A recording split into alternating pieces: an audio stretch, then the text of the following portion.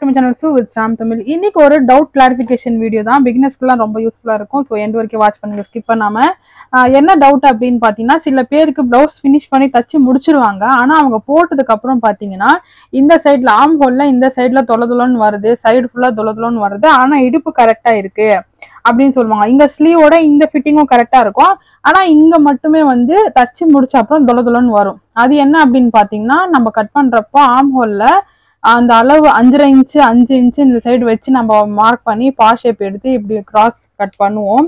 அதில் மிஸ்டேக் பண்ணியிருப்போம் இப்போ தச்சு முடிச்சிட்டோம். அதை வந்து ஒன்றும் பண்ண முடியாது. ஸோ அப் தச்சு முடிச்ச அதே ப்ளவுஸில் எந்த வித தையலும் சைடில் பிரிக்காமல் நம்ம எப்படி ஆல்டர் பண்ணுறது அப்படின்னு சொல்லி பார்க்கலாம். ஸோ ஒன்றுமே இல்லை. ரொம்ப ஈஸி எந்த சைடு அவங்க அந்த மாதிரி லூஸாக இருக்குது அப்படின்னு சொல்கிறாங்களோ அதை வந்து இந்த மாதிரி பேக் சைட் திருப்பிக்கோங்க. திருப்பிட்டு இந்த மாதிரி வச்சுக்கோங்க. வச்சுட்டு இப்போ பாருங்க இந்த இடத்துல அவங்க தையல் போட்டிருக்காங்க. ஸோ அந்த இ- நான் ஆல்ரெடி சொன்னேன் இல்லையா இந்த மாதிரி வந்து நம்மளுக்கு வந்து இந்த ஸ்லீவ் கிட்ட கரெக்டாக இருக்குது பட் இங்கே வந்து லூஸாக இருக்குன்னு சொல்லி சொல்லுவாங்க ஆம் ஹோல் கிட்டன்னு. எந்த அளவுக்கு லூஸாக இருக்குன்னு சொல்லி ஃபஸ்ட்டு நீங்கள் மார்க் பண்ணிக்கோங்க. இப்போ இந்த அளவுக்கு லூஸாக இருக்குன்னு வச்சுக்கோங்களேன். இப்போ இங்கே ஒரு மார்க்கிங் பண்ணிக்கலாம். இப்போ இடுப்பு கரெக்டாக இருக்குது இடுப்பு வந்து கரெக்டாக இருக்கு. இடுப்பு கிட்டேருந்து ஒன்றும் பிரச்சனை இல்லை. இப்போ இங்க வந்து தையல் போட்டிருக்காங்க ஆல்ரெடி ஸோ அந்த தையலுக்கு மேலேயே இப்படி எடுத்துட்டு வந்து இப்படி லைட்டா நம்ம கிராஸில் இப்படி எடுத்துட்டு போயிட்டு அந்த நம்ம மார்க் பண்ண அந்த பாயிண்ட்ல வந்து இப்படி நிறுத்திக்கோங்க.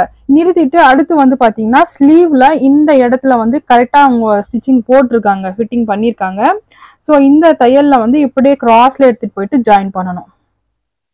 இந்த மாதிரி நீங்க தையல் போட்டிங்கன்னா இதுக்கு மேலே தையல் போட்டு வந்துருங்க. தையல் போட்டு வந்து இங்க ரஃப் பண்ணிக்கோங்க.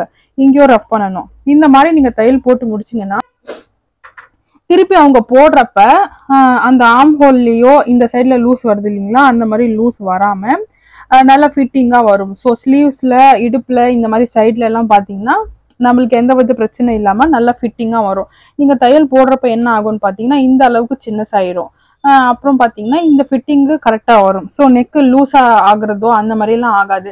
இங்கே வந்து மிஸ்டேக் பண்ணீங்கன்னா கண்டிப்பாக நெக்கெல்லாம் லூஸாக இருக்கும். ஸோ இந்த வீடியோ உங்களுக்கு யூஸ்ஃபுல்லாக இருக்கும்னு நினைக்கிறேன். என்கிட்ட டவுட் கேட்டவங்க மெயினாக பார்த்துருப்பீங்கன்னு நினைக்கிறேன். ஸோ உங்களுக்கு யூஸ்ஃபுல்லாக இருந்தால் மறக்காம சேனலை சப்ஸ்கிரைப் பண்ணிட்டு லைக் ஷேர் கமெண்ட் பண்ணுங்கள் தேங்க்ஸ் ஃபார் வாட்சிங்